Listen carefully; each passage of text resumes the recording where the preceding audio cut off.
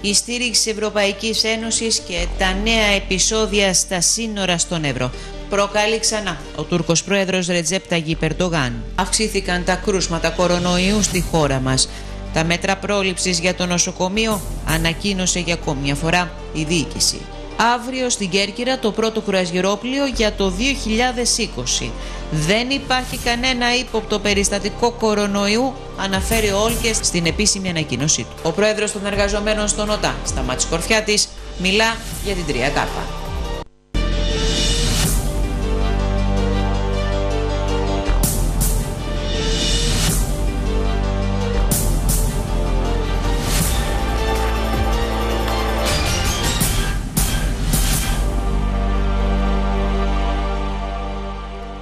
Κυρίες και κύριοι, καλησπέρα σας. Μαζί και απόψε για να προσεγγίσουμε την επικαιρότητα στο κεντρικό δελτίο ειδήσεων του ΣΤΑΡΤ. Σε μια επικαιρότητα με ραγδαία δεδομένα από τη μία στιγμή στην άλλη. Είδατε στους τίτλους ειδήσεων την υπόθεση του κρασγεροπλίου, το οποίο θα έδαινε αύριο στο λιμάνι της Κέρκυρας. Όμως έχουμε κυριολεκτικά δεδομένα της τελευταίας μισής ώρας, καθώς το συγκεκριμένο κρασγερόπλιο ανακοινώθηκε ότι τίθεται σε καραντίνα. Καλησπερίζω την Ηρώ Λέλα, η οποία παρακολουθεί το θέμα και με την οποία θα σας δώσουμε αμέσως τώρα αυτή την πληροφορία. Ηρώ, καλησπέρα. Σπύρο, κυρίες και κύριοι, καλησπέρα σας. Πράγματι, λοιπόν, και με την ανακοίνωση του οργανισμός Λιμένος, διευκρίνιζε το μεσημέρι ότι έχει γίνει εξονυχιστικός έλεγχος από τις υγειονομικές αρχές και την πλειοκτήτρια εταιρεία σε αυτό το κουραζιερόπλαιο το οποίο αύριο θα προσέγγιζε το νησί. Όμως, το κουραζιερόπλαιο φέρεται να έχει τεθεί σε καραντίνα, καθώς εμφανίστηκε κρούσμα κορονοϊού ανάμεσα στους επιβάτες τι ακριβώς συμβαίνει, σύμφωνα με τις πρώτες πάντα πληροφορίες. Ένας επιβάτης, ο οποίος αποβιβάστηκε στην Γένοβα της Ιταλίας, διαγνώστηκε θετικός στον κορονοϊό. Ο καπετάνιος λοιπόν του πλοίου ενημέρωσε τους επιβάτες να περιοριστούν στις καμπίνες τους προκειμένου να αποφευθεί κάθε περαιτέρω μετάδοση του ιού.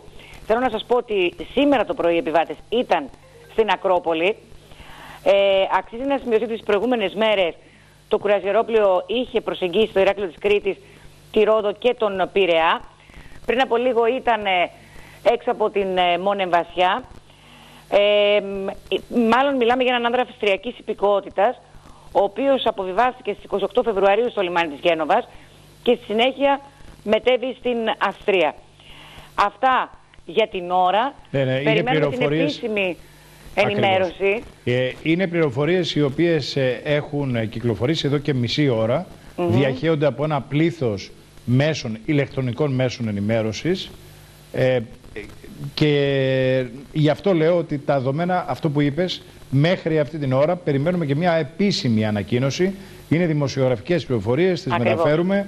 Ε, έχουμε μιλήσει και εμείς με αρχές. Προσπαθούν και αυτές οι τοπικές αρχές να ενημερωθούν και να πληροφορηθούν. Σπύρο, να αξίζει να σημειώσουμε ότι μέχρι το μεσημέρι, ε, για παράδειγμα, η περιφέρεια είχε επικοινωνήσει με το λιμεναρχείο, όπου το λιμεναρχείο με τη σειρά του είχε επικοινωνήσει με τον καπετάνιο του πλοίου και δεν υπήρχε κανένα ζήτημα. Ναι, και γι' αυτό είχε εκδοθεί γι αυτό και σχετική ανακοίνωση. Σωστά, σωστά. Δηλαδή, ε, μέχρι αργά το μεσημέρι είχαμε μια σειρά από δεδομένα τα οποία δεν έδειχναν ότι συμβαίνει απολύτως τίποτε. Βέβαια πρέπει να πω ότι στο διαδίκτυο, στα social media όπως πια τα αναφέρουμε, σε αυτή την ε, ελληνική, ελληνικότατη έκφραση, έτσι, ε, υπήρξε μια συζήτηση και ένας σκεπτικισμός από πολίτες με βάση αυτές τις πληροφορίες και αυτή την εικόνα που έχουμε σχηματίσει λίγο πολύ όλοι για τον ε, κορονοϊό. Εύλογα ε, τα ερωτήματα και εμείς Δικαιώνονται όμως αυτοί οι οποίοι. Δικαιώνονται ναι, αλλά εδώ μιλάμε για άνθρωπο ο αποβιβάστηκε. Σωστά, σωστά. Αποβιβάστηκε, αλλά. Και διαγνώστηκε, ότι... και διαγνώστηκε ότι ήταν φορέας του κορονοϊού. Έχω την εκτίμηση ότι σε λίγο θα είμαστε ξανά σε επικοινωνία. Όσο ώρα μιλάμε, Ωραία. είναι αρκετά τα τηλεφωνήματα που δέχομαι. Οπότε θα μου δώσετε λίγο χρόνο και, και θα φαντάζομαι ότι και συνεχώς ε, τα ειδησιογραφικά site θα έχουν περισσότερες πληροφορίες. Προφανώς περιμένουμε και μια επίσημη ανακοίνωση, αν μη τι άλλο, από το Υπουργείο Υγείας. Ρώση, ευχαριστούμε πάρα πολύ για την ενημέρωση. Κυρίες και κύριοι, πάμε τώρα να δούμε ε, την υπόθεση που λέγεται Εύρος, μεταναστευτικό, προσφυγικό, νησιά του Αιγαίου, αυτή την φοβερή κατάσταση, η οποία με πολλές λέξεις, αλλά ταυτόχρονα και με πολλές λίγες, ε, μπορεί να περιγραφεί. Είναι μια κατάσταση τραγική, μια κατάσταση δύσκολη, μια κατάσταση που συγκρούονται πολλά αισθήματα του ανθρώπου μέσα του και δεν υπάρχει καμία αμφιβολία ότι η, ηγεσία, η πολιτική ηγεσία της γείτονος χώρας έχει εργαλειοποιήσει δυστυχισμένους ανθρώπους. Και ταυτόχρονα είναι δεδομένο ότι θα πρέπει να μάθουμε να ζούμε με την υπόθεση του μεταναστευτικού και του προσφυγικού. Άλλωστε η ιστορία της ανθρωπότητας είναι μια ιστορία της προσφυγιάς. Πάμε να δούμε περισσότερα στα ρεπορτάζ που έχουν ετοιμάσει οι συνάδελφοι και ξεκινάμε με το πρώτο, με το πρώτο ρεπορτάζ και για την ανακοίνωση υποστήριξης από την Ευρωπαϊκή Ένωση της Λένα Σιμάτη. Κοινοτικούς πόρους ύψους 700 εκατομμυρίων ευρώ, εκ των οποίων το μισό ποσό άμεσα θα διαθέσει η Ευρωπαϊκή Ένωση στην Ελλάδα για τη διαχείριση της νέας έξαρσης του προσφυγικού μεταναστευτικού. Αυτό αποκάλυψε χθες τον Εύρο η Πρόεδρος της Ευρωπαϊκής Επιτροπής Ούρσουλα Φοντερ Λάινεν, αφού περιόδευσε στα ελληνοτουρκικά σύνορα μαζί με τον Έλληνα Πρωθυπουργό, τους Προέδρους του Ευρωπαϊκού Συμβουλίου και τον Πρωθυπουργό της Κροατίας. Οι ελληνικές ανησυχίες είναι και δικές μας ανησυχίες και είναι ευθύνη της Ευρώπης στα σύνορα, τόνισε η κυρία Φόντερ Λάιεν, επενώντα το έργο των ελληνικών δυνάμεων ασφαλείας και της Frontex και ευχαριστώντας την Ελλάδα που δρά ως ασπίδα της Ευρώπης. Η Πρόεδρος της Κομισιόν απαρίθμησε αναλυτικά τη συμβολή της Frontex στο ράκιση των ελληνικών συνόρων με την αποστολή 100 επιπλέον συνοριοφυλάκων, ενός υπεράκτιου σκάφους, 6 παράκτιων περιπολικών, 2 ελικοπτέρων, ενός αεροσκάφους και τριών οχημάτων με θερμικές κάμερες. Ανέφερε επίσης, σύμφωνα με την καθημερινή, ότι με την ενεργοποίηση του Ευρωπαϊκού Μηχανισμού Πολιτικής Προστασίας θα διατεθούν στην Ελλάδα ιατρικό προσωπικό και προμήθειες, κουβέρτες, σκηνές και ό,τι άλλο ζητηθεί. Την ίδια ώρα, νέα επεισόδια σημειώθηκαν στα ελληνοτουρκικά σύνορα στον Εύρο σήμερα το πρωί. Σύμφωνα με τις πρώτες πληροφορίες, ομάδα νεαρών που βρίσκονται στο φυλάκιο στις Καστανιές εκτόξευσε χημικά και δαγρυγόνα προς ελληνικές δυνάμεις ασφάλειας που απάντησε. Προτού ξεσπάζουν τα επεισόδια, σύμφωνα με το έθνος, προηγήθηκαν δύο εκοφαντικοί ήχοι. Οι δυνάμεις ελληνικής αστυνομίας και του στρατού αμέσως εξαπλώθηκαν στο χώρο, ελέγχοντας κυρίως τα σημεία που υπάρχουν σειρματοπλέγματα για να διαπιστωθεί αν υπάρχουν απόπειρες παραβίασή τους. Τελικά, επί τα πολύ λεπτά, ολοκληρώθηκε ο νέος γύρος των επεισοδίων ανάμεσα στους μετανάστες πρόσφυγες και τις ελληνικές δυνάμεις, οι οποίες σταματούν κάθε κύμα μεταναστών που προσπαθεί να μπει παράνομα στην Ελλάδα. Αξίζει να σημειωθεί ότι την Τρίτη η κατάσταση είχε ερεμήσει λόγω και της επίσκεψης ηγεσίας Ευρωπαϊκής Ένωσης στον Εύρο, με τους μετανάστες να κινούνται προς τα νότια, έτσι ώστε να βρουν δίωδο για να περάσουν στην Ελλάδα.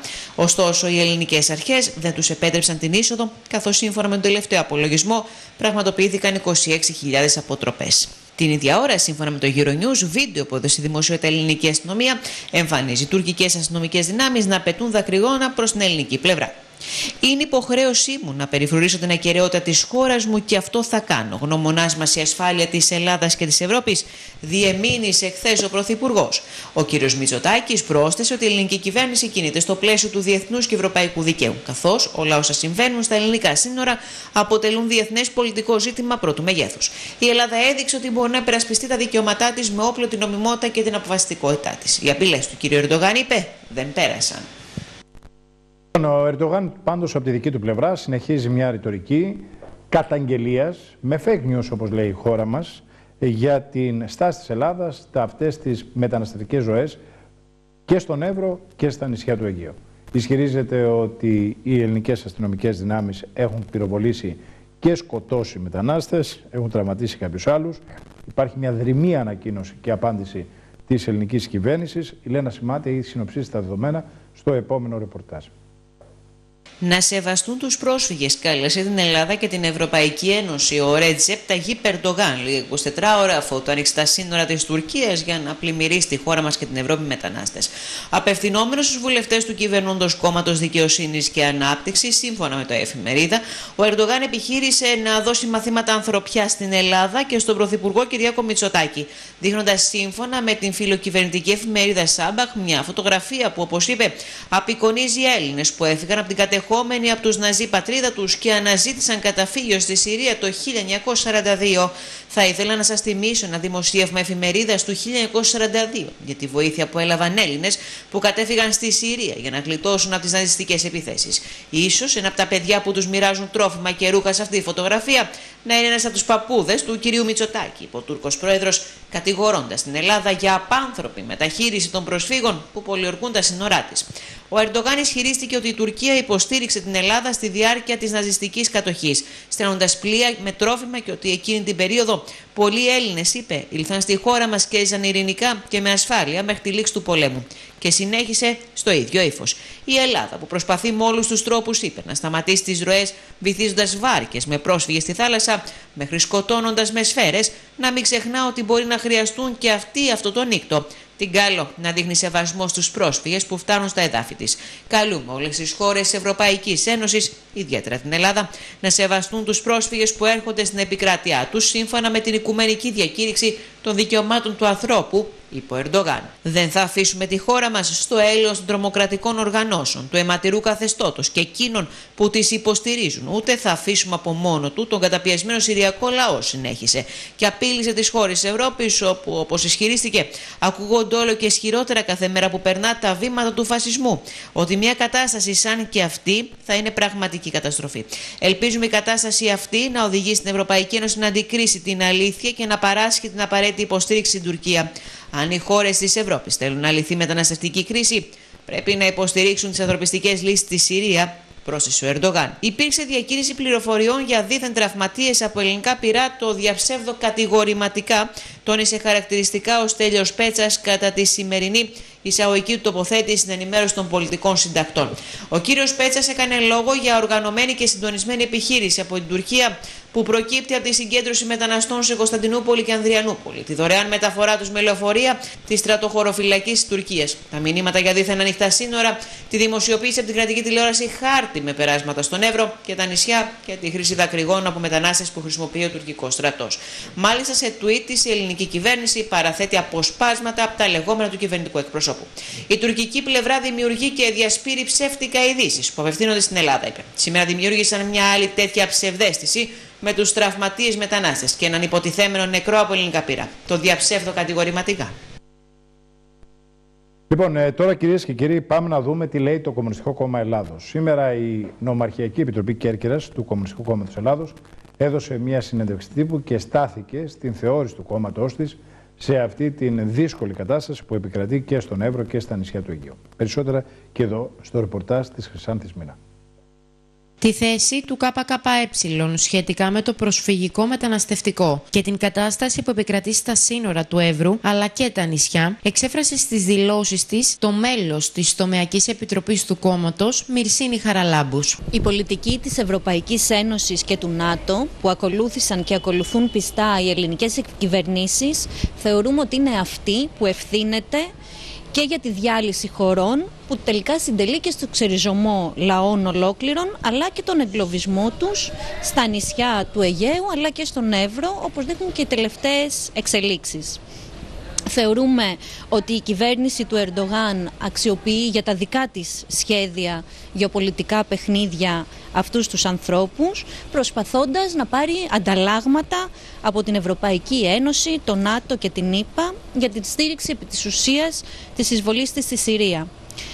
Θεωρούμε ότι η κυβέρνηση της Νέας Δημοκρατίας πρέπει να δείξει τον τσαμπουκά της απέναντι στην Ευρωπαϊκή Ένωση και τον ΝΑΤΟ και όχι στους εξαθλειωμένους που βρίσκονται εκεί, δηλαδή να αποχωρήσει από τον κανονισμό του Δουβλίνου να απαιτήσει την ακύρωση της κοινή δήλωσης Ευρωπαϊκής Ένωσης και Τουρκίας γιατί αυτά είναι που μετατρέπουν την Ελλάδα σε αποθήκη ψυχών για να μπορέσουν δηλαδή τελικά οι πρόσφυγες να πάνε στις χώρες προορισμού τους. Η εμπλοκή της Frontex που ζητάει η κυβέρνηση είναι σε επικίνδυνη κατεύθυνση και απλά θα κάνει τα πράγματα πολύ χειρότερα. Η αναγκαία φύλαξη των συνόρων στον Εύρο δεν μπορεί να χρησιμοποιείται για να νομιμοποιούνται ξενοφοβικές και ακροδεξιές φωνές που επιδιώκουν να στρέψουν τον ελληνικό λαό κατά των θυμάτων, προσφύγων και μεταναστών. Αυτές είναι οι φωνές που τελικά γίνονται ο καλύτερος σύμμαχος της κυβέρνησης του Ερντογάν που προσπαθεί να χρησιμοποιήσει αυτόν τον κόσμο για τους δικούς του σκοπούς. Θεωρούμε ότι τώρα πρέπει να κλείσουν τα hot spots Η λύση είναι η Ευρωπαϊκή Ένωση και ο ΙΕ να οργανώσουν τις διαδικασίες υποβολής αιτήσεων ασύλου και μέσα στην Τουρκία, στα σύνορα της Ελλάδας αλλά και στα σύνορα με τη Συρία έτσι ώστε να μπορέσουν αυτοί οι άνθρωποι να μετακινηθούν ε, με πιο γρήγορες διαδικασίες στους προορισμούς τους. Αυτό είναι το μέτρο που μπορεί να στηρίξει και το δικαίωμα των προσφύγων σε προστασία με βάση τις διεθνείς συμβάσεις. Πρέπει τώρα να σταματήσει κάθε συμμετοχή και της χώρας μας αλλά και συνολικά των επιχειρήσεων του ΝΑΤΟ, της ΥΠΑ και της Ευρωπαϊκής Ένωσης και στην περιοχή της Μέσης Ανατολής της Συρίας και της Λιβύης που ουσιαστικά διαιωνίζουν τον πόλεμο και τις καταστροφές και κάνουν ακόμη πιο οξυμένο το πρόβλημα της μετανάστευσης αυτού του κόσμου. Κυρίες και κύριοι, στο τηλεοπτικό σταθμό Μπέγκα έδωσε χθες το βράδυ μια συνέντευξη ο αρχηγός αξιωματική αντιπολίτευσης και πρώην πρωθυπουργός, ο κύριος Αλέξης Τσίπρας. Έχει ενδιαφέρον, έχουν ενδιαφέρον πολλά από αυτά τα οποία είπε. Σημειώστε ότι είναι και σε αντίθετη κατεύθυνση με αυτά που τις τελευταίες μέρες ακούστηκαν από επιφανεί στελέχη του κόμματός του, αλλά και από την ίδια την νεολαία του ΣΥΡΙΖΑ.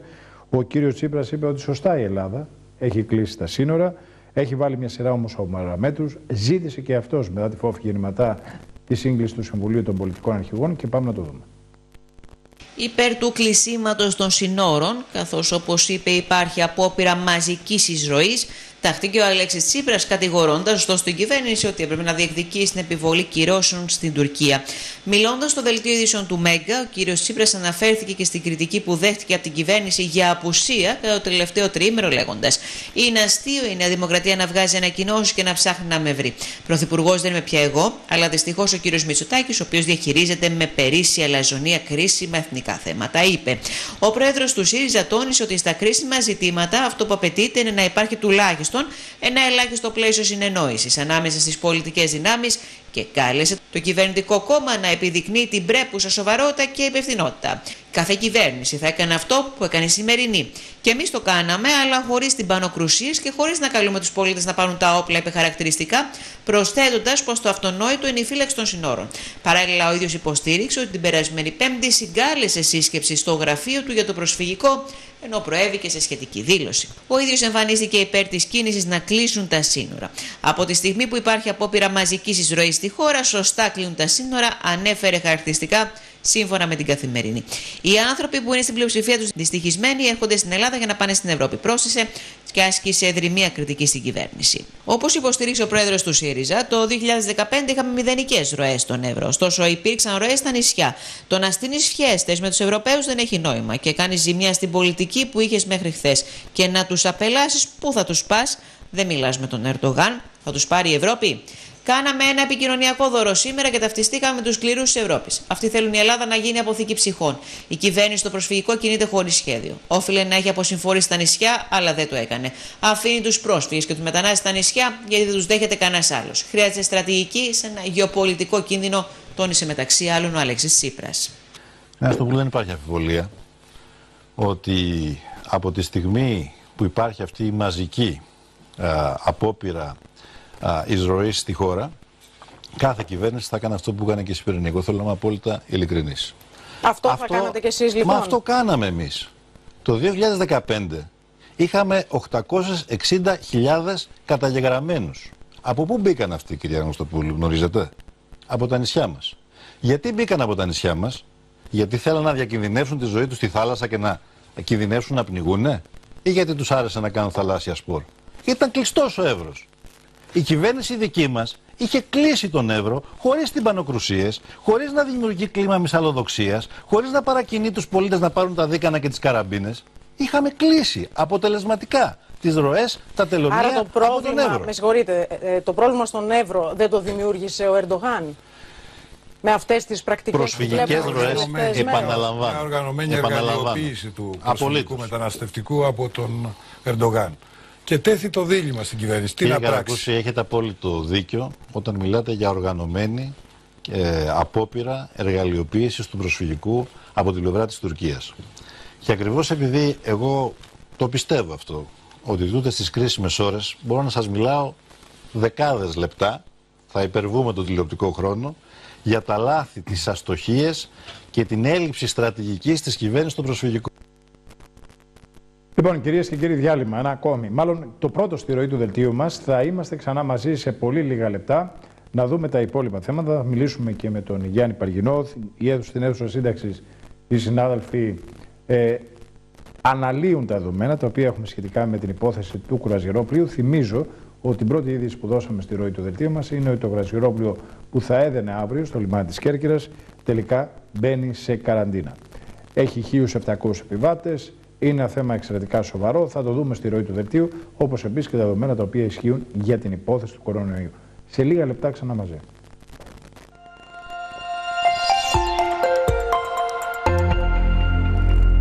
Ότι η είδηση που αφορά την τοπική μας πραγματικότητα είναι ότι το κρουαζιερόπλαιο που θα έδινε αύριο το πρωί στο λιμάνι της Κέρκυρας ανακοινώθηκε ότι τίθεται τελικά σε καραντίνα. Μια είδηση, τα δεδομένα της οποίας σας θα έχουμε δώσει στη τηλεφωνική επικοινωνία με την Ρολέλα, αλλά περισσότερα στοιχεία και περισσότερες πληροφορίες φαντάζομαι θα έχουμε στην η ροή του δελτίου μας, καθώς όλη αυτή η ιστορία του κορονοϊού έχει τεράστια νέα δεδομένα με απόψεις που λένε ότι θα πρέπει να κλείσουν και σχολεία και πανεπιστήμια. Θα το δούμε λοιπόν στη ροή του δελτίου. Καλησπέρα, ζω τον Γιάννη Παργινό, είναι μαζί μας και απόψε για να σχολιάσουμε αυτή την γκαστρωμένη δισογραφικά μέρα. Καλησπέρα Γιάννη μου. Καλησπέρα Σπύρο και δυστυχώς δεν είναι μόνο η σημερινή ημέρα που είναι γκαστρωμένη. Φαίνεται ότι και οι επόμενες ημέρες και εβδομάδες θα είναι επίσης γκαστρωμένες ναι. και τιμόγενες θα λέγαμε. Ναι, ναι, έτσι είναι Γιάννη. Και με τεράστια ερωτηματικά για τη διαχείριση όλων αυτών των δεδομένων στη ζωή μας που είναι καθοριστικά από ένα σημείο και μετά από την πλευρά και των μέσων ενημέρωσης που έχουν καταστεί πια ως δημόσια φεώρα εκείνα που καθορίζουν συνειδήσεις και αντιλήψεις και τον τρόπο με τον οποίο ως κοινωνία είμαστε όριμοι να αντιμετωπίσουμε τις όποιες δύσκολες καταστάσει. Επειδή τα μέσα μαζικής επικοινωνίας, ενημέρωσης, όπως θέλεις πέστα και προσδιορισέτα, οπωσδήποτε δημιουργούν μια συγκεκριμένη κοινωνική συμπεριφορά, δράση και αντίδραση, είναι opinion και politics makers αν θέλεις να χρησιμοποιήσουμε και την αγγλική ορολογία. Mm ας μην ξεχάσουμε ότι μέσα μαζικής επικοινωνίας και ενημέρωσης συνδέονται λίγο ή πολύ εγώ θα έλεγα πολύ και μάλιστα παραδόξως απολύτικα είναι αυτός ο δεσμός απολύτικος με την εκάστοτε κυβέρνηση. Άρα αφού τα μέσα μαζικής της ενημέρωσης ή επικοινωνίας σχηματίζουν κοινή γνώμη και πολιτική πρέπει να επηρεαστούν από την όποια κυβέρνηση βρίσκεται στην εξουσία και με τον οποιονδήποτε τρόπο τα καθοδηγεί να καθοδηγήσουν και αυτά με τη σειρά τους την κοινωνία στην οποία απευθύνονται Μάλιστα. προς μια ευ, πιο ευθεία, πιο λογική σκέψη και προβληματισμό. Ελπίζουμε χωρίς πανικό, ε, διότι η ανθρωπότητα τα έχει ζήσει όλα αυτά. Πάμε στο μεταναστευτικό. Μου έλεγε σήμερα ένας καλός φίλος ότι φιλίστορ καμία σχέση με τον κύριο Ντεσταμπασίδη πάντως, ότι ε, η ιστορία της ανθρωπότητας είναι μια ιστορία μετακίνησης πληθυσμών και έχει δίκιο.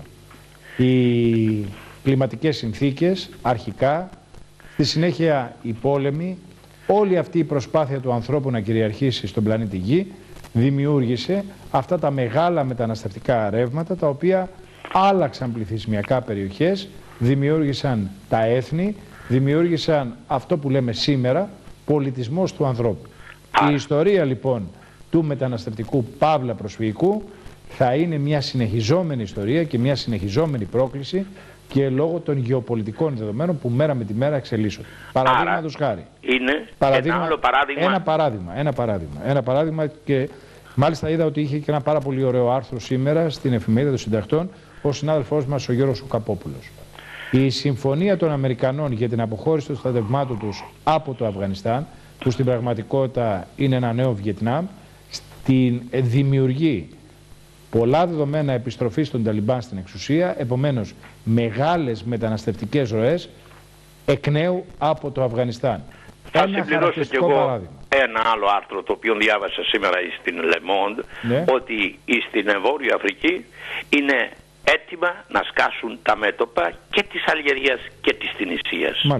Αν αυτό συμβεί, καταλαβαίνετε σε συνδυασμό με αυτό που μόλις τώρα εσύ κατέθεσες, θα έχουμε μια πλημμυρίδα μεταναστευτικών ροών προς ολόκληρη την Ευρώπη. Ναι, ναι. Άρα, κατ' επέκταση και κατά αναλογία, αγαπητέ μου φίλε και συνάδελφε Σπύρο Ζενιάτη, γεννάται για μία ακόμη φορά το ερώτημα τι κάνει η Ευρώπη. Βλέπεις, είπες εσύ... Τι κάνει η Γερμανία πρωτίστως. Διότι, εγώ θέλω να, διότι την εγώ απόφαση θέλω του 2015... Την απόφαση... Θέλω να αισθάνομαι, θέλω ναι. να εννοώ, θέλω να προσδιορίζω την Ευρώπη ως Ευρώπη και όχι ως τέταρτο, Σύμφωνη. τρίτο ή πέμπτο Σύμφωνη, αλλά ξέρεις πάρα πολύ καλά ότι αυτή η συμφωνία του 2015 που επιχειρούνταν τορπιλίστηκε από τις χώρες του Βίσεγκραντ και αυτές οι χώρες ήταν στην πραγματικότητα, μιλάω για την Ουγγαρία, μιλάω ναι, για ναι. την Τσεχία, Μιλάω ε, για αυτές τις τέσσερις χώρες που δεν ακολούθησαν. Ακολουθώντας λοιπόν αυτό το, αυτός το σκεπτικό, αυτός το προβληματισμό. Στην πραγματικότητα τους είχε κλείσει το μάτι Γερμανία. Είναι πολύ ότι λόγω αυτής της πολιτικής των κρατών του Βίζεγκρατ αντιμετωπίζουμε τη συγκεκριμένη κατάσταση σήμερα. Έκλεισαν Διότι αν η Ευρώπη είχε μια διαφορετική ε, αντιμετώπιση και φιλοσόφηση του όλου προβλήματος των μεταναστευτικών ροών θα είχε δεχτεί να γίνει μια διασφορά μεταναστών ή στο εσωτερικό ολόκληρης της Ευρώπης και δεν θα ήθελε να έχει την Ελλάδα σαν μια φύλακη μεταναστών η οποία θα εμποδίζει τα μεταναστευτικά ρέματα να πάνε στην άλλη Ευρώπη. Αν η Γερμανία είχε διαφορετική αντιμετώπιση του όλου προβλήματος και δεν διάλεγε μόνο εκείνους τους οποίους θέλει για καλούς επιστήμονες, από τους μετανάστες και για φτωχά εργατικά χέρια, θα ήταν καλύτερα διαμοιρασμένο το μεταναστευτικό κύμα και καλύτερη αντιμετώπιση του όλου προβλήματος. Η Γερμανία έχει απορροφήσει ένα εκατομμύριο μετανάστες τα τελευταία χρόνια. Ένα εκατομμύριο, πρόσεξε, σε μια χώρα με, μετανα... με πληθυσμιακά δεδομένα 50 ε, φορές, 60 φορές περισσότερο από ό,τι η Ελλάδα. Η Ελλάδα Ας υπολογίζεται. με το ένα μεταναστευτικό ρεύμα των εργατών μετά τον δεύτερο παγκόσμιο όχι, πόλεμο. Δεν λέω αυτό, δεν λέω αυτό. Που βοήθησε τη Γερμανία να γίνει σύμφωνη, η ευρωπαϊκή σύμφωνη, οικονομική δύναμη. Λέω, δε... Α μη συγχαίουμε και μη συγχύζουμε. Όχι, όχι, όχι. Και μη μπλέκουμε τους Τούρκους που έχουν πάει στη Γερμανία και καθοδηγούνται από την καγκελαρία γιατί είναι ψηφοφόροι τη. Ναι. Με τους άχαρους, τους κακομίριδε που φεύγουν για να γλιτώσουν. Μιλάω, μιλάω για αυτούς οι οποίοι τα τελευταία 10 χρόνια έχουν κινηθεί προς την Ευρώπη. Εκτιμάται από μια σειρά από οργανισμούς ότι η Γερμανία έχει δεχτεί και έχει ε, φιλοξενεί πια ένα εκατομμύριο από αυτούς τους νέους, ας ονομάσουμε έτσι για να το καταλάβουμε καλύτερα, πρόσφυγες. Λοιπόν, έχουμε όμως ένα δεύτερο μεγάλο θέμα το οποίο μας αφορά. Ο Σουλτάνος ξέρουμε τι λέει, η ρητορική του ποια είναι. Αύριο όμως στη Μόσχα συναντάται με τον Βλαντιμίρ Πούτιν. Λένε οι συνάδελφοι και λένε και στις αναλύσεις τους στα ειδησιογραφικά πρακτορία, η συνάντηση δεν θα γίνονταν αν δεν υπήρχε βεβαιότητα έστω ενός προημίου συμφωνίας με τη Ρωσία. Ποιο μπορεί να είναι αυτό το ε, προήμιο της συμφωνίας, ότι σε καμία περίπτωση η Ρωσία δεν μπορεί να πάει πίσω από αυτό που συμφέρει τα εθνικά της ζητήματα. Δηλαδή, τα προγεφυρώματα, όλα αυτά που έχει χτίσει και καθορίζει πια με τις δυνάμεις του Άσα στη Συρία, σπιθαμή πίσω. Στην πραγματικότητα μια ουσιαστική ήττα για τις επιδιώξεις του Ταγί Περτογάν. Ο Ρώσος δεν θέλει τίποτα άλλο παρά θέλει το ένα πόδι να στέκεται στη Συρία και το έχει ξεκαθαρίσει απέναντι στην Άγκυρα λέγοντας στον Σουλτάνο ότι ό,τι θέλεις κάνε αλλά δεν θα αγγίξεις, δεν θα πειράξεις, δεν θα βλάψεις την ε, οντότητα, την κρατική και την κυριαρχία της Συρίας. Το ένα πόδι είναι αυτό και το άλλο είναι πόδι στο κρατικό έδαφος της Τουρκίας το οποίο το θεωρεί ως μια έξοδο προς την ευρύτερη Μεσόγειο. Αυτό θέλει η Ρωσία και νομίζω ότι δεν θα της χαλάσει το χατήρι. Από την άλλη πλευρά εκείνο το οποίο θα ήθελε η Ρωσία είναι τι; Να παίξει κάποιο συγκεκριμένο ρόλο η Τουρκία στις διεξόδους των όποιων ορυχτών, του όποιου ρηχτού πλούτου της Ανατολικής Μεσογείου, καθώς ελεγχόμενος αυτός ο πλούτος από την Τουρκία, ελέγχεται και από την Ρωσία, αφού η Τουρκία θα είναι σύμμαχος της Μόσχας. Εδώ παίζεται ένα, δια, ε, ένα γεωπολιτικό παιχνίδι διπυρωτικής σημασίας μεταξύ Μόσχας ναι. και Ουάσιγκτον. Γι' αυτό λέω ότι αν η Μόσχα και η Ουάσιγκτον παίζουν καθοριστικό ρόλο στα γεγονότα, στις ισορροπίες και στους συσχετισμούς της Ανατολικής Μεσογείου, ήρθε η ώρα επιτέλους να παίξει και αυτή η έρμη Ευρώπη τον δικό της ρόλο.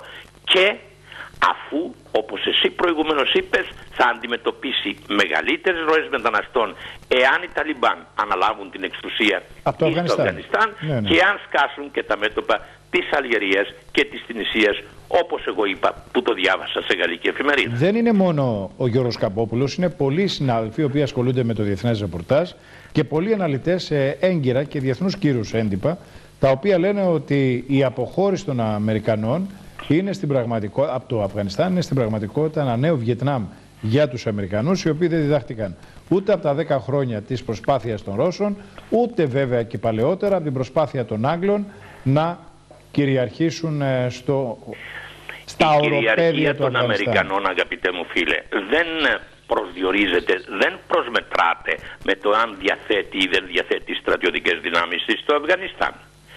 Ας μην ξεχάσουμε ότι εκείνος ο οποίος σκοτώθηκε από τους Αμερικάνους και πετάχτηκε η στάχτη τους στη θάλασσα, ο Μπιλάντεν, ήταν παιδί των Αμερικάνων. Ναι, άρα, αυτό...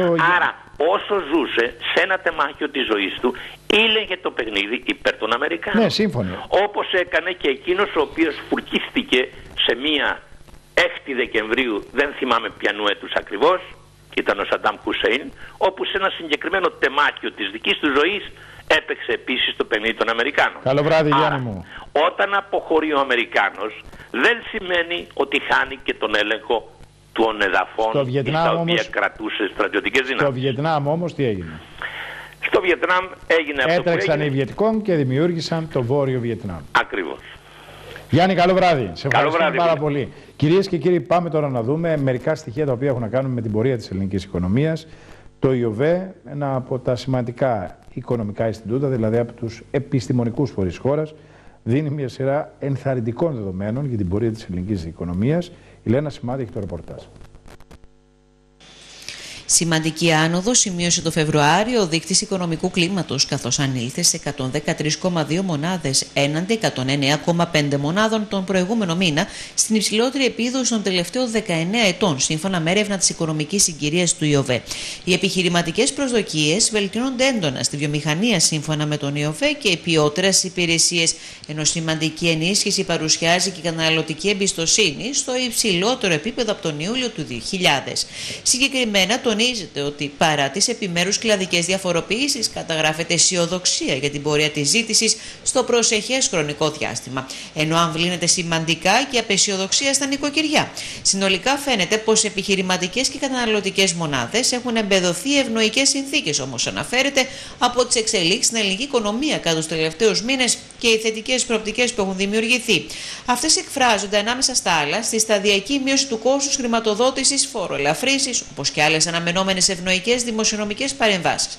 Θα είναι όμως κρίσιμο σε ποιο βαθμό θα επηρεάσουν το οικονομικό κλίμα οι αιστείες ισχυρής αβεβαιότητας που προκύπτουν, όπως οι γεωπολιτικές εντάσεις, η προσφυγική και μεταναστευτική κρίση, η επιδημία κορονοϊού και η υποτονική και επιβραδυνόμενη ρυθμή ανάπτυξη στην ευρωπαϊκή οικονομία και άλλους εμπορικούς εταίρους. Καθώς το μεγαλύτερο τμήμα της πρωτογένους έρευνας πραγματοποιήθηκε πριν την έξαρση των σχετικών φαινομένων στο τέλος του μήνα. Αυτές οι εξελίξεις, σε συνδυασμό και με την οικονομική πολιτική, αναμένεται όπως αναφέρεται να επηρεάσουν τις προσδοκίες κατά το επόμενο χρονικό διάστημα. Στη βιομηχανία, για παράδειγμα, το αρνητικό ισοζύγιο των εκτιμήσεων για τις παραγγελίες και τη ζήτηση περιορίστηκε οριακά. Ο δείκτης των εκτιμήσεων για τα αποθέματα υποχώρησε αισθητά και οι προβλέψεις για την παραγωγή τους προσεχείς μήνες μεταβληθήκαν αισθητά.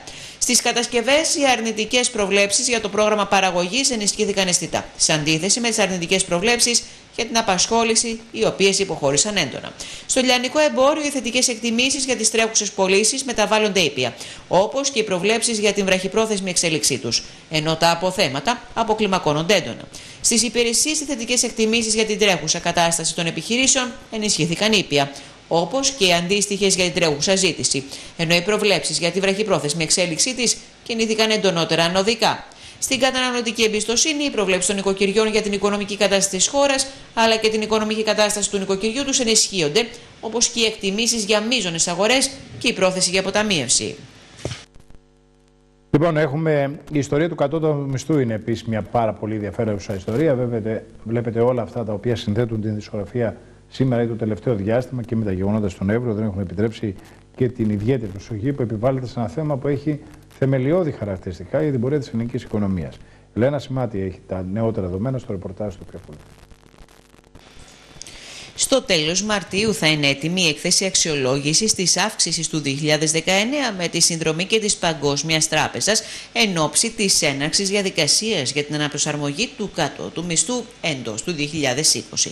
Όπως αποκαλύφθηκε από την έκθεση Κομισιόν, η εκ των υστέρων αξιολόγησης αύξησης του κάτω μισθού κατά 10,9% καθώς και της κατάργησης του υποκατώτατου μισθού για τους νέους έως 25 ετών, η οποία υλοποιήθηκε το Φεβρουάριο του 2019, βρίσκεται σε στάδιο προετοιμασίας από την Ευρωπαϊκή Ένωση με την τεχνική υποστήριξη και τη Παγκόσμια Τράπεζα και θα έχει ολοκληρωθεί μέχρι τα τέλη Μαρτίου. Μάλιστα, ήδη στις 15 Φεβρουαρίου ξεκίνησε η νέα διαδικασία διαβούλευσης με τους κοινωνικούς εταίρους και όλους τους ενδιαφερόμενους φορείς για την επόμενη επικαιροποίηση, όπως προβλέπεται από το νόμο 4.172 του 2013 κατά το δεύτερο 15 του Ιουνίου. Την προηγούμενη εβδομάδα συστάθηκε σύμφωνα με την καθημερινή η Τριμελής Επιτροπή Συντονισμού της Διαβούλευσης, αποτελούμενη από τα εξής μέλη. Τον πρόεδρο του ΟΜΕΔ Κωνσταντίνο Βαδημητρίου ως πρόεδρο και δύο μέλη εκπροσώπους των αρμόδιων Υπουργείων Εργασίας τη Σταματίνα Γιανακούρου και των Οικονομικών Μιχαήλ Αργυρού. Ο νέος κατώτατο μισθός πρέπει να θεσμοθετηθεί από το Υπουργικό Συμβούλιο στο τέλος Ιουνίου, με στόχο να τεθεί σε εφαρμογή από τον Ιούλιο του 2020 έως τον Ιούνιο του 2021. Και όπως χαρακτηριστικά επισημαίνουν οι τεχνοκράτες Ευρωπαϊκής Ένωσης, η όποια απόφαση θα πρέπει να λάβει υπόψη της την κατάσταση της οικονομίας, το ρυθμό ανάπτυξης, την παραγωγικότητα, τις τιμές, την ανταγωνιστικότητα, την απασχόληση, την ανεργία, τα εισοδήματα και τους μισθούς, καθώς και το πόρισμα της εκ των υστέρων αξιολόγησης της προηγούμενης αύξησης.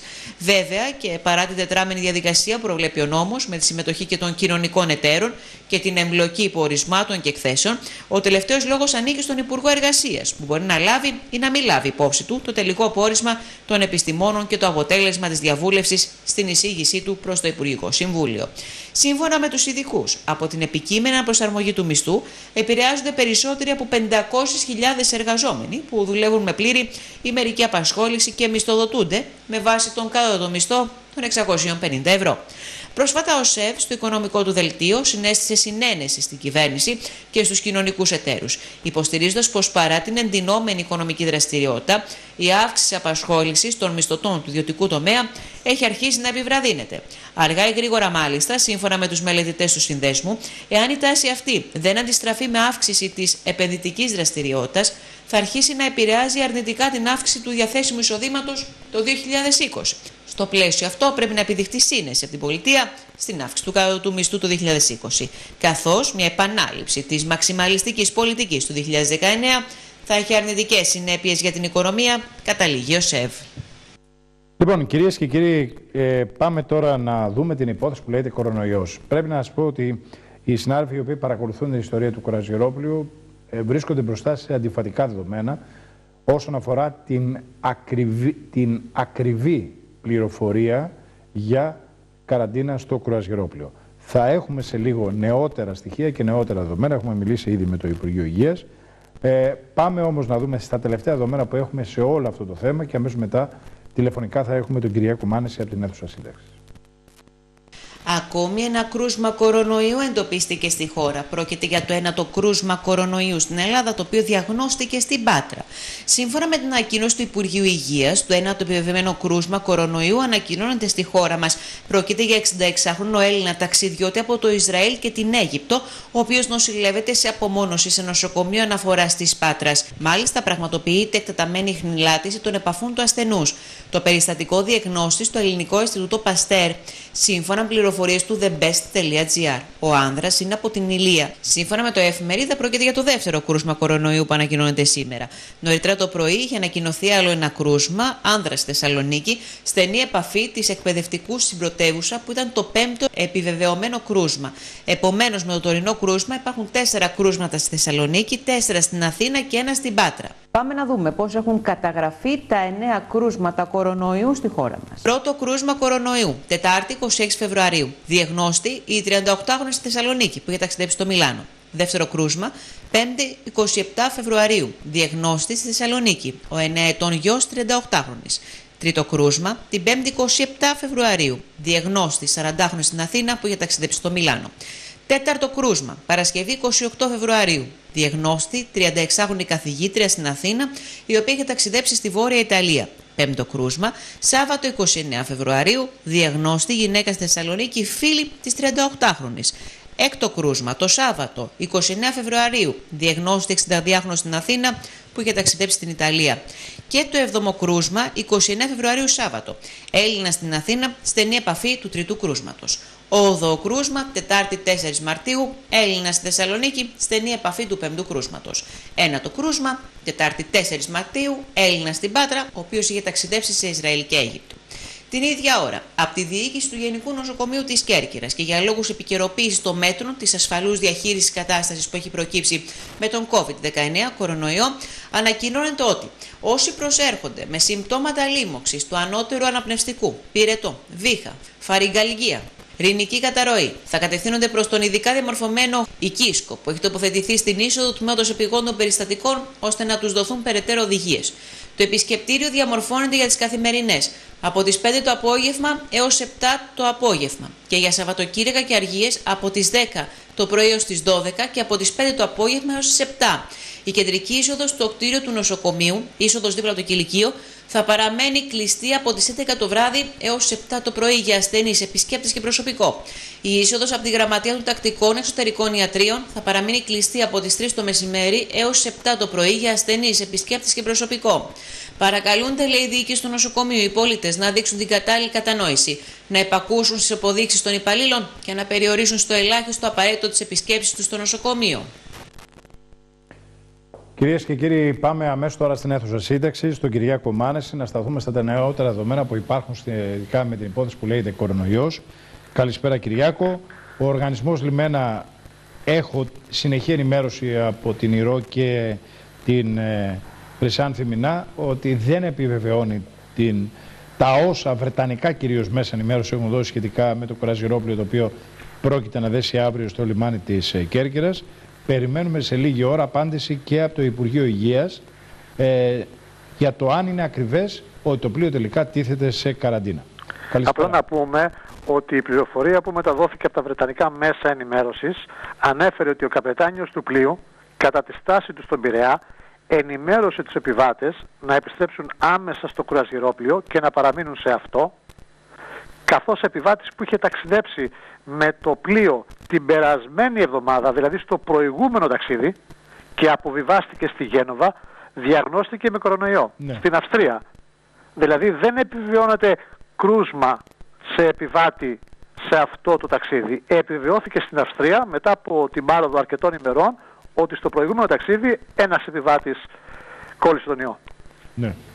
Αυτό ε... τακτικά σημαίνει. Ε, είδα τώρα στο Google ότι το πλοίο βρίσκεται ανοιχτά από τα κύθυρα δεν έχει αλλάξει κάτι στο δρομολογιό του. Βεβαίως, οι υγειονομικές αρχές της χώρας, μετά από τις συνεννοήσεις που θα γίνουν, θα αποφασίσουν για τα σχετικά.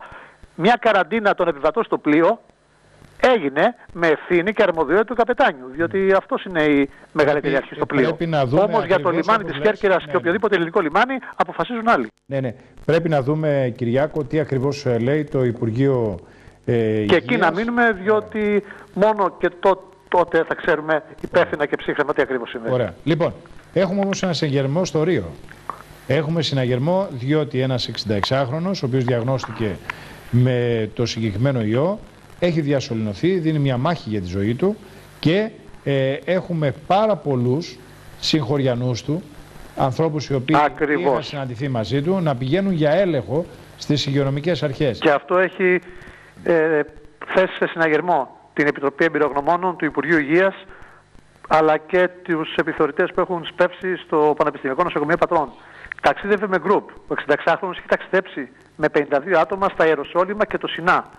Κάποιοι από τους συνεπιβάτες του φαίνεται να είχαν ήπια συμπτώματα γρήπης. Σε κάθε περίπτωση όλα τα άτομα του γκρουπ έχουν ειδοποιηθεί να μεταβούν στο νοσοκομείο του Ρίου για να ελεγχθούν για τον κορονοϊό. Ε, δεν έχουμε κάποια ανακοίνωση. Υπάρχει όμως ε, σήμερα... Σε καραντίνα έχουν τεθεί οι εργαζόμενοι, ναι. γιατί πρέπει να πούμε ότι ε, στο νοσοκομείο είχε πάει νωρίτερα ναι. ο 66χρονος. με τα ήπια συμπτώματα. Είχε εξεταστεί σε εξωτερικά ιατρία και μέχρι να διαπιστωθεί ότι είναι κορονοϊός. Καταλαβαίνεις ότι, είχε έρθει σε επαφή με, με αρκετούς εργαζόμενους, ναι. προσωπικό του νοσοκομείου και προφανώ και, μια...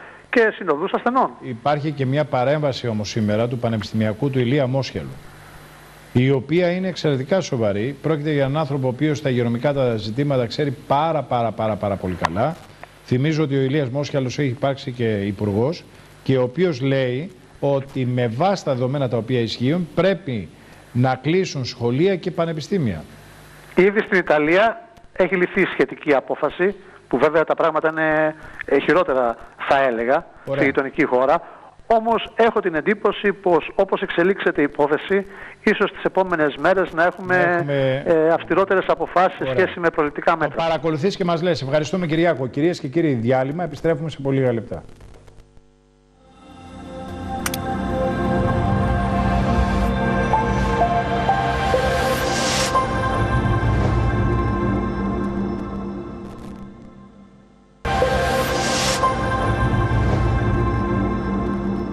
Κυρίες και κύριοι, καλησπέρα σας. Είναι βράδυ Τετάρτης, είναι 4 ε, του μηνός Μαρτίου και είμαστε μαζί στο κεντρικό δελτίο ειδήσεων ε, του ΣΤΑΡΤ. Αυτό το οποίο αποτελεί μεγάλο θέμα για την τοπική μας πραγματικότητα είναι η ιστορία του κρουαζιεροπλοίου, το οποίο θα έδαινε αύριο στο λιμάνι της Κέρκυρας. Σύμφωνα με βρετανικά ηλεκτρονικά μέσα ενημέρωσης, το πλοίο με απόφαση του καπετάνιου θα έμπαινε σε καραντίνα. Μια πληροφορία όμως η οποία δεν επιβεβαιώνεται τουλάχιστον με μια επίσημη ανακοίνωση έως αυτήν την ώρα από τις επίσημες αρχές της ελληνικής δημοκρατίας. Ηρώ Λέλα ξανά στη τηλεφωνική γραμμή. Καλησπέρα Ηρώ. Καλησπέρα νεο... Έχουμε κάτι νεότερο; Αυτό το οποίο συμβαίνει είναι ότι οι φορείς, η Δήμαρχος από πλευράς της Περιφέρειας, ο Κώστας ο Ζορμπάς, τουριστικοί φορείς όπως ο κ. Χαλικιόπουλος, ο πρόεδρος του ΑΟΚΤΑ, προσπαθούν να διασταυρώσουν τελικά αν όντως ο καπετάνιος έχει δώσει αυτή την εντολή. Μέχρι αυτή την ώρα που μιλάμε, το Υπουργείο Τουρισμού, ο ΕΟΔΗ, το Υπουργείο Υγείας και το Υπουργείο Ναυτιλίας δεν γνωρίζουν επίσημα κάτι που να κατευθύνεται σε αυτό το οποίο διαβάσαμε κι εμείς από τη Mirror.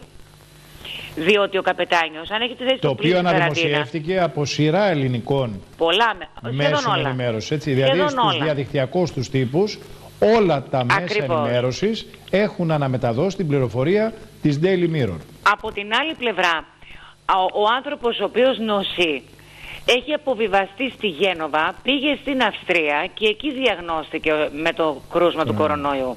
Το πλοίο από τότε μέχρι και σήμερα έχει πάει σε το Σαλιμάνια. Έχει γίνει έλεγχος και σε ό,τι αφορά τη χώρα μας. Μην ξεχνάμε ότι μέχρι το μεσημέρι οι αρχές διαβεβαίωναν ότι όλα είναι καλά. Τέσσερις η ώρα το μεσημέρι Ακριβώς. βγήκε η ανακοίνωση του οργανισμού Λιμένα. Ακριβώς. Άρα τα ερωτήματα τα οποία είναι εύλογα είναι αρκετά. Για ποιο λόγο η Mirror τώρα, για παράδειγμα, ή είναι δυνατόν να έχει θέσει ο καπετάνιος στο πλοίο σε καραντίνα και να μην γνωρίζει καμία ελληνική αρχή, ο ΕΟΔΗ, το ναυτιλίας, το υγείας, Μας έλεγε ο Κυριάκος Μάνεσης, το, το στίγμα του πλοίου ήταν μετά τα κύθυρα. Ναι. Έφυγε ναι. από τα λιμάνια της Πελοποννήσου και ε, κινείται προς το Ιόνιο. Ανεβαίνει το Ιόνιο.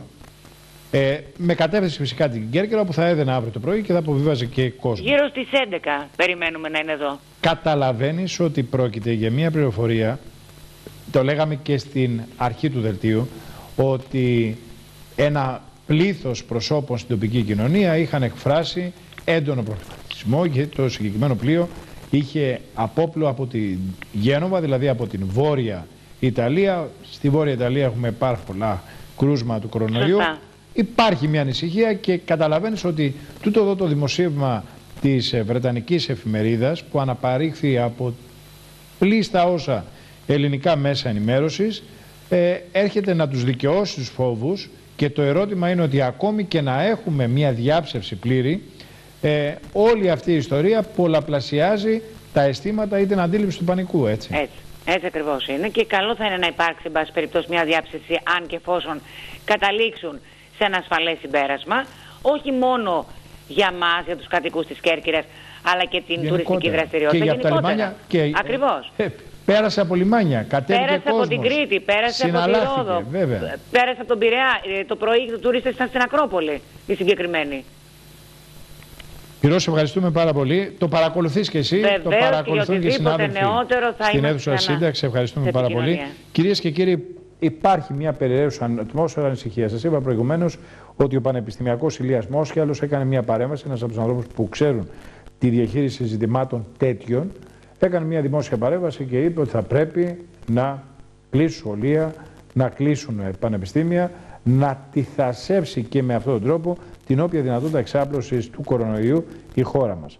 Ε, έχουμε μια παρέμβαση σήμερα και από την πλευρά της Ένωσης Λειτουργών Μέσης Εκπαίδευσης Κέρκυρας και πάμε να δούμε το ρεπορτάζ. Να πάρει άμεσα τώρα μέτρα του Υπουργείου Παιδείας στα σχόλια για την πρόληψη της εξάπλωσης του κορονοϊού, ζητάμε ανακοίνωσή της ΕΛΜΕ. Αναλυτικά η ανακοίνωση αναφέρει. Τα κρούσματα του κορονοϊού στη χώρα μας φέρνουν στην επιφάνεια τις χρόνιες ελλείψεις στα σχολεία, τόσο στον εξοπλισμό όσο και στο απαραίτητο προσωπικό. Οι ευθύνες βαραίνουν διαχρονικά όλες τις προηγούμενες κυβερνήσεις και τη σημερινή. Τα χρόνια προβλήματα αντικειμενικά επιδεινώνουν την κατάσταση και τροφοδοτούν την ανασφάλεια και το φόβο σε μαθητές και γονείς, αλλά και το έδαφος για να αναπτύσσει την παραπληροφόρηση. Το κλείσιμο των σχολείων όπου κρίνεται απαραίτητο μπορεί να είναι μια προσωρινή λύση, αλλά δεν μπορεί να κρύψει κάτω από το χαλί την πραγματική εικόνα. Μια εικόνα που φανερώνει ότι και σε αυτό το επίπεδο δεν υπάρχει από την κυβέρνηση σοβαρό σχέδιο πρόληψης, μείωσης της διασποράς και αντιμετώπιση των συνεπειών των κρουσμάτων του κορονοϊού. Και η ανακοίνωση της ΕΛΜΕ συνεχίζει. Τα προληπτικά μέτρα της πράξης νομοθετικού περιεχομένου δεν μπορεί να είναι αποτελεσματικά αν δεν συνοδεύονται από άμεσα μέτρα που αποτελούν και πάγιες διεκδικήσεις του γονεϊκού και εκπαιδευτικού κινήματος. Με την ιδιαίτερη ευθύνη που αισθανόμαστε ως εκπαιδευτικοί, είμαστε υποχρεωμένοι να απαιτήσουμε από την κυβέρνηση να πάρει όλα τα απαραίτητα μέτρα πρόληψης και αντιμετώπισης του μεγάλου προβλήματος.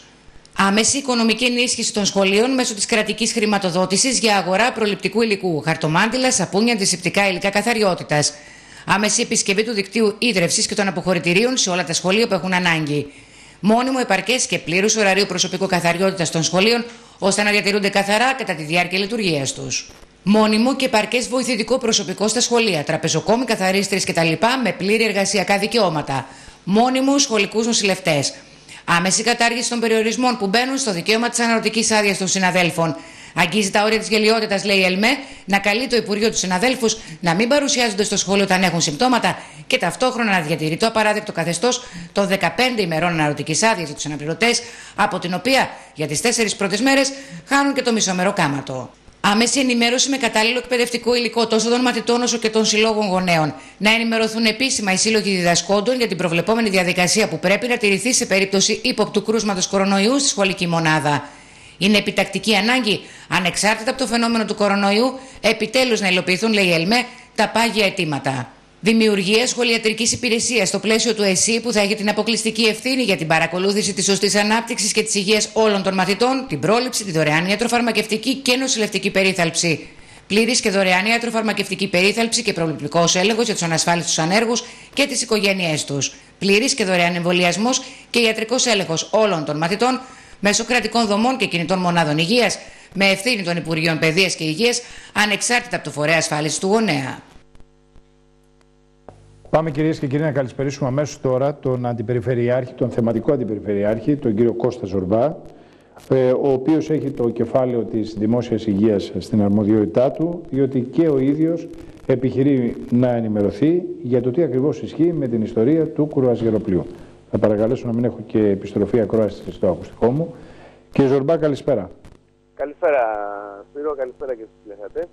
Ε, από νωρίς ε, το απόγευμα, περίπου σε 7.30, η Βρετανική εφημερίδα Μύρος, στον ιστότοπό της, έχει δώσει αυτή την πληροφορία. Έχει αναπαραχθεί από πάρα πολλά ελληνικά μέσα ενημέρωσης, διαδικτυακά. Ε, δεν έχουμε καμία επίσημη ανακοίνωση από το Υπουργείο Υγείας ή από το Υπουργείο Τουρισμού. Υπάρχει όμως ε, μια, θα έλεγα, δυναμική αυτής της πληροφορίας, διαχέεται και από ένα πλήθος χρηστών των social media. Το ερώτημα είναι αν ισχύει ή δεν ισχύει η πληροφορία και το συνδέω, κύριε την Περιφερειάρχα, με τα φοβικά ε, αισθήματα που έχουν εκδηλωθεί από νωρίς σήμερα το πρωί, όταν έγινε γνωστό ότι θα δέσει ένα κουρασιρόπλιο, το οποίο έχει αποπλέψει από τη Γένοβα της Ιταλίας, δηλαδή από την Βόρεια Ιταλία, όπου έχουμε πάρα πολλά κρούσματα συνολικά στην Βόρεια Ιταλία του κορονοϊού. Τι ισχύει, τι ενημέρωση έχετε εσείς; Λοιπόν, ε, θα σας τα πω εντάχει γιατί πρέπει να διακόψω γιατί χτυπάει το τηλέφωνο μου συνέχεια. Εγώ βρίσκομαι στο κεντρικό λιμεναρχείο αυτή τη στιγμή ναι. για να, έχω, να έχουμε ενημέρωση. Εγώ μέχρι και το μεσημέρι η ενημέρωση που είχαμε ήταν ότι το, από το πλοίαρχο του πλοίου και από την εταιρεία αλλά και από το Υπουργείο το βαπόρι είναι καθαρό, δεν υπάρχει κάποιο σύμπτωμα, δεν υπάρχει κάτι. Το έχει αναβγάλει και σε ανακοίνωση ο οργανισμός Λιμένα. Ακριβώς. Λοιπόν, ε, και εγώ μένω σε, μένω σε αυτό μέχρι να, έχω, ε, να έχουμε κάτι νεότερο. Ήμουν σε επαφή με τον ΕΟΔΗ, όμως ε, δεν έχουμε κάτι ακόμα. Τα να αρμόδια Υπουργεία δεν έχουν κάποια. Ε, πρέπει, πρέπει να σας αφήσω γιατί είναι σημαντικό το τηλεφώνημα που μου χτυπάει τώρα. Ε, Αν έχουμε πάντως κάτι νεότερο, θα σας παρακαλέσω πολύ να έχουμε άμεση ενημέρωση. Σας ευχαριστώ πάρα πολύ. Κυρίες και κύριοι, το ζείτε και εσείς στον αέρα, αυτό το οποίο προσπαθούμε και εμείς να έχουμε ενημέρωση και πληροφορία. Έχουμε απευθεί και στο Υπουργείο Υγείας, έχουμε ζητήσει και από το Υπουργείο Τουρισμού μια σχετική ενημέρωση. Είναι μια υπόθεση που δεν είναι απλή. Καταλαβαίνει ο καθένας ότι και με βάση αυτά τα οποία εξελίσσονται στην Πάτρα και στο Ρίο θέλει διαχείριση. Μία από τις προσπάθειες των αρμόδιων Υπουργείων είναι να μην υπάρξει πανικός. Περιμένουμε λοιπόν την ακριβή απάντηση, την επίσημη ανακοίνωση για να δούμε τι ακριβώς συμβαίνει και το κατά πόσο ισχύει το αρχικό δημοσίευμα της εφημερίδας Mirror. Αυτό βέβαια που έχουμε μεταδώσει και εμείς και έχουν αναπαράγει και ένα πλήθος ελληνικών μέσων ενημέρωσης. Πάμε τώρα σε μια σειρά από θέματα της τοπικής μας επικαιρότητας. Πάμε να δούμε μια παρέμβαση του Στέφανου Γκίκα, του βουλευτή Κέρκυρας της Νέας Δημοκρατίας, σχετικά με την υπόθεση των αγροτών, ζητήματα που έχουν να κάνουν και με τον ελαιόνα της Κέρκυρας.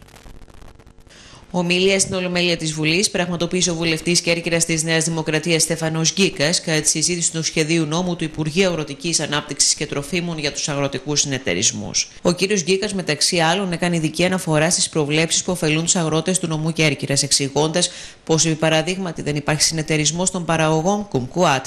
Το υποψηφίσει σχέδιο νόμου βοηθάει τους συγκεκριμένους παραγωγούς, είπε, να ιδρύσουν συνεταιρισμό, καθώς απλοποιεί σημαντικά τον τρόπο ίδρυσης των αγροτικών συνεταιρισμών. Συνεπώς, η παραγωγή Κουμκουάτ στην Κέρκυρα μπορεί να γίνει πιο ανταγωνιστική. Αναφέρθηκε επίσης στους περισσότερους από 12.000 υλοπαραγωγούς του νομού, οι οποίοι αντιμετωπίζουν το πρόβλημα των μικρών κλήρων, του αυξημένου κόστου παραγωγής και χαμηλής τιμής του ελαιολάδου. Εκτίμησε ότι μέσα από τη δυνατότητα ίδρυσης νέων καινοτόμων συνεταιρισμών, οι ελαιοπαραγωγοί θα μπορέσουν να βελτιώσουν το προϊόν τους, να αναβαθμίσουν την παραγωγή και κατ' επέκταση να αυξηθεί και η κερδοφορία. Σε ό,τι αφορά στην πρόνοια για τα νησιά με λιγότερους από 3.500 κατοίκους, όπου για την ίδρυση αγροτικών συνεταιρισμών απαιτούνται λιγότερα από 10 ιδρυτικά μέλη, ο Στέφανο Γκίκα σημείωσε πως από την ελόγω ρύθμιση θα υποφεληθούν οι παξί και τα διαπόντια νησιά. Το οποίο είναι ένα σημαντικό νομοσχέδιο το οποίο βοηθά τον πρωτογενή τομέα και την κουλτούρα του συνεταιρίζεστε. Έχει σημαντικές α, διατάξεις. Εγώ θα αναφερθώ ακροθυγώς σε μερικές από αυτές. Δίνει τη δυνατότητα ε, να ιδρυθεί ένας συνεταιρισμός με λιγότερα ιδρυτικά μέλη, από 20 πάει στα 10. Το δε αρχικό συνεταιριστικό κεφάλαιο φτάνει στις 10.000 ευρώ. Επίσης, δεν υπάρχει η αναγκαιότητα το καταστατικό να πάει στα δικαστήρια, στο ειρηνοδικείο, αλλά η εποπτεύουσα αρχή του Υπουργείου Αγροτικής Ανάπτυξης μπορεί να δώσει την έγκριση, άρα αυτό σημαίνει ε, ταχύτητα στην ίδρυση ενός αγροτικού συνεταιρισμού. Βοηθάει το σχέδιο νόμου την ίδρυση ε, αγροτικών συνεταιρισμών και σε μέρη τα οποία δεν έχουν πολλούς που ασχολούνται. Θα σας πω ένα παράδειγμα για την εκλογική μου περιφέρεια στην Κέρκυρα. Έχουμε τους ε, παραγωγούς Κουμκοάτ δεν υπάρχει συνεταιρισμός. Με αυτό το σχέδιο νόμου μπορεί να ιδρυθεί ένας συνεταιρισμός αφού και τα μέλη είναι 10 και να γίνει η παραγωγή πιο ανταγωνιστική.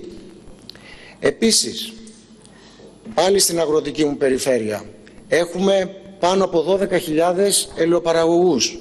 Ασχολούνται με την ελιά.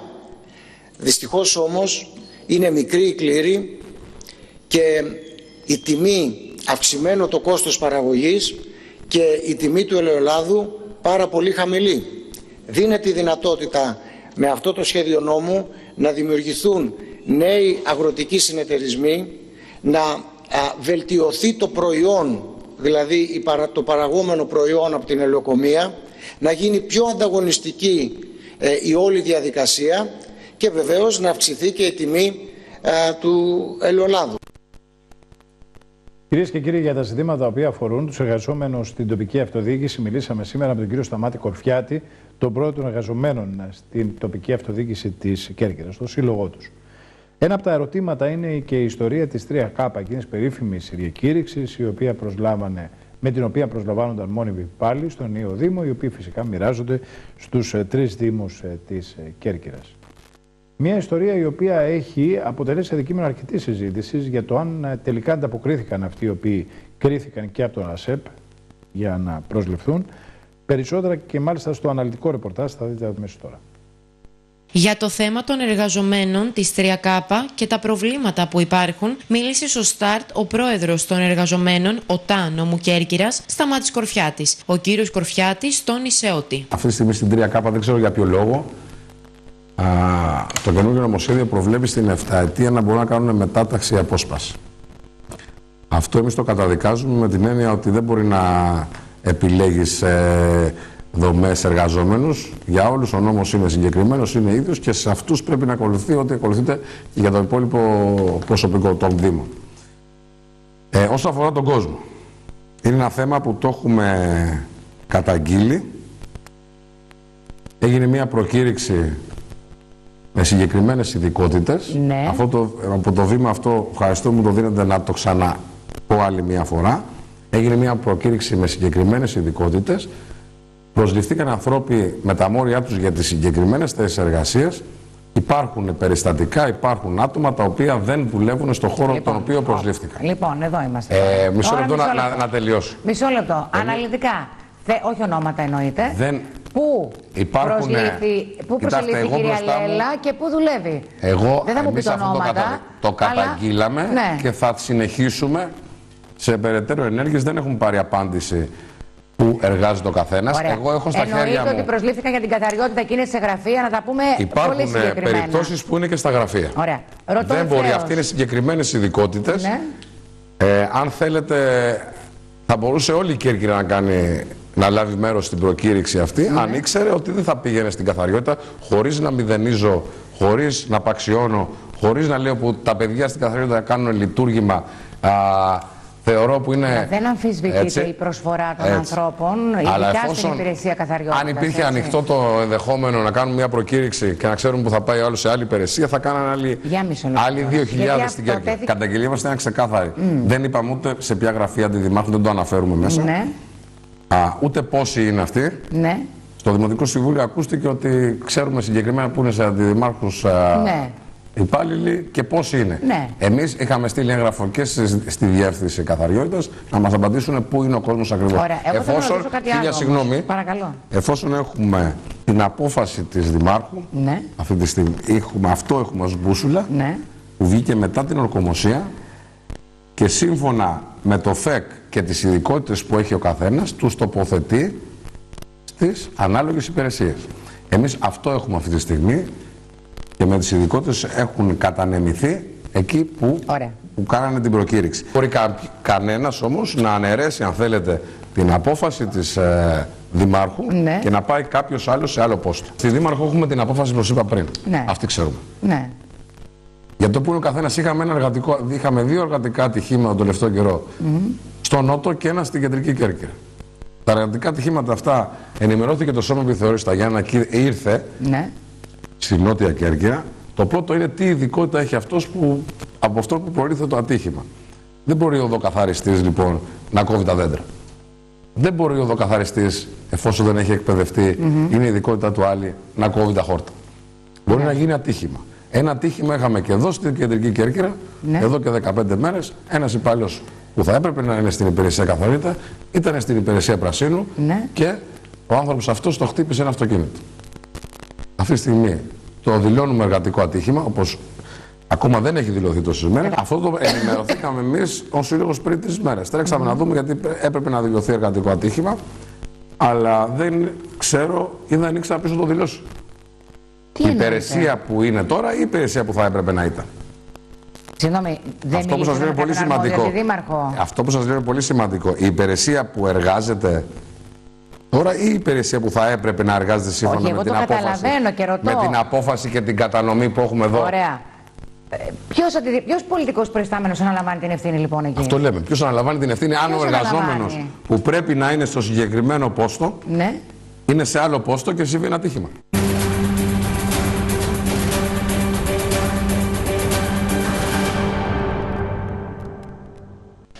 Συνελήφθησαν τα τελευταία 24 ώρα στην Κέρκυρα, τη Λευκάδα και τη Ζάκυνθο από αστυνομικούς των υπηρεσιών των διευθύνσεων αστυνομίας στα τρία νησιά. Τρία άτομα για οδήγηση υπό την επίρρεια μέθης. Οι συλλήψεις πραγματοποιήθηκαν τη διάρκεια προληπτικών αστυνομικών ελέγχων και αφορούσαν τον εντοπισμό ενό 46χρονου οδηγού αυτοκίνητου στην Κέρκυρα την Κυριακή τις πρώτες πρωινές ώρες από αστυνομικούς ΣΟΕΠΤΑ, καθώς διαπιστώθηκε κατά τον έλεγχο που του πραγματοποιήθηκε με το αλκοολόμετρο να οδηγεί υπό την επίρρεια μέθης. Τον εντοπισμό την Κυριακή το βράδυ στη Λευκάδα από αστυνομικού σηματο τροχέας ενός 59χρονου οδηγού γεωταχή αυτοκινήτου, επίσης για οδήγηση υπό την επίρρεια μέθη. Και αντίστοιχα, στην πόλη της Ακίνθου, το βράδυ του Σαββάτου, εντοπίστηκε από τους αστυνομικούς του τμήματος Ακίνθου ένας 41χρονο αλλοδαπός να οδηγεί υπό την επίρρεια μέθη. Οι συλληφθέντες οδηγήθηκαν στην αρμόδια εισαγγελική αρχή. Λίγο πριν τις 2 το μεσημέρι της Δευτέρας, ολοκληρώθηκε επιχείρηση πυροσβεστική υπηρεσίας για τον απεγκλωβισμό οδηγού από το όχημά του, το οποίο κατέληξε σε γκρεμό. Σύμφωνα με το Υπηρού Post, το αυτοκίνητο κατά από άγνωστες συνθήκες εξετράπη της πορείας του ενώ κινούνταν στην παλιά εθνική οδό Ιωαννίνων Μετσόβου μετά τη διασταύρωση Λιγκιάδων προς το Δρίσκο. Έπεσε σε γκρεμό 30 περίπου μέτρων και έγινε αντιληπτό από άλλα διερχόμενα οχήματα. Άμεσα κινητοποιήθηκαν δυνάμεις αστυνομίας και της πυροσβεστικής. Η πυροσβεστική επιχείρηση με διασωστική σειρά έδεσε το όχημα και συνέχεια απεγκλώβησε τον οδηγό. Συνολικά πήραν μέρος στην επιχείρηση τρία οχήματα και ένα πυροσβέστες. Ο 56χρονο οδηγός με τραύματα διακομίστηκε στο νοσοκομείο. Τα τραύματα, σύμφωνα με το δημοσίευμα, δεν είναι πολύ σοβαρά και δεν υπάρχει κίνδυνος για τη ζωή του.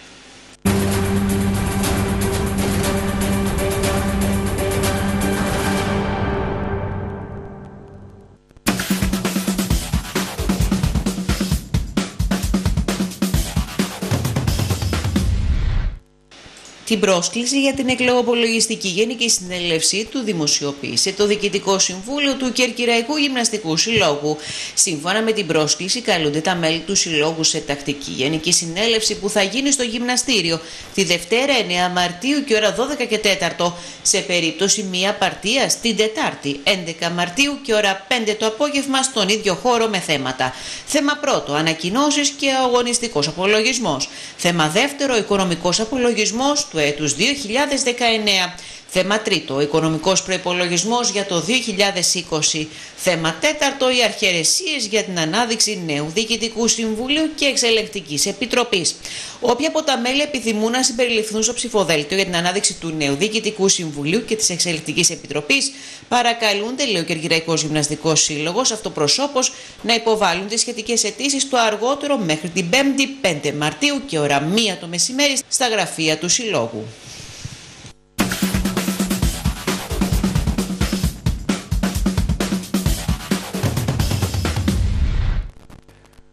Κυρίες και κύριοι, αυτά ήταν τα βασικά δεδομένα της σημερινής ειδησιογραφία. Όπως την προσεγγίσαμε, τα καταγράψαμε και σας τα παρουσιάσαμε στη ροή του αψινού κεντρικού δελτίου ειδήσεων του ΣΤΑΡΤ. Πρόγνωση καιρού, διαφημίσεις σε πολύ λίγη ώρα. Θα είμαστε ξανά μαζί στην ενημερωτική εκπομπή Υπάρχει θέμα.